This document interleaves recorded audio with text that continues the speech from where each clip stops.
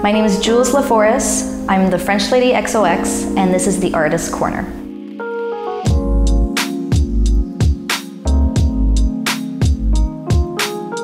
I've been in Austin for about five years now. Austin is an awesome place to be. Just the culture, the people are very friendly, and the art scene is, is amazing. You can walk down any street and see art. It's just everywhere. I started painting about four years ago. I was just sketching and a friend of mine saw it on my story and she's like, you should just try to turn it into a painting. And I said, you know what, that's a good idea. So I did. And just the, the feedback that I was getting from people, it was nice. It, was, it gave me a boost of confidence and I just kind of got hooked on that feeling, kind of that rush, and I haven't stopped ever since. I do live painting at least once a month. Um, at least so I can be out there so I can show people my work, uh, show how it's done. I like the process of it, like they see the painting at the beginning and then three hours later it looks completely different. So I like how they can see how it goes from start to finish.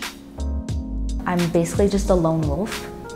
I'm just doing this on my own. It's just, let's try this. We'll go this direction, see how it goes. It's basically just trial and error at the moment. One week I could be doing it for 10 hours and then another week, zero.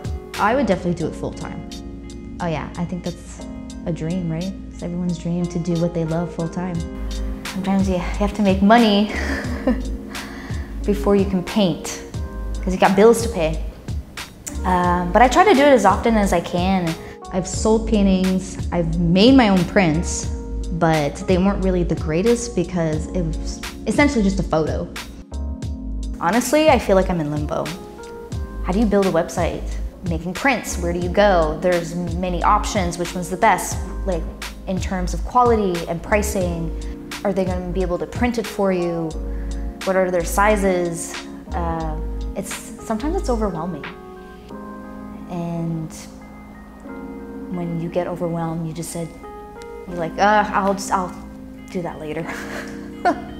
I'll figure it out later eventually. like Julz, many artists feel isolated and think they have to build their business alone.